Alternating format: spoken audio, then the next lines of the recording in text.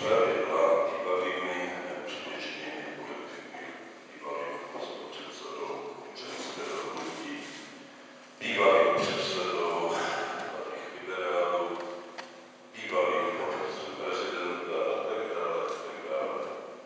Zkoumejte všechno vlastní a vědomě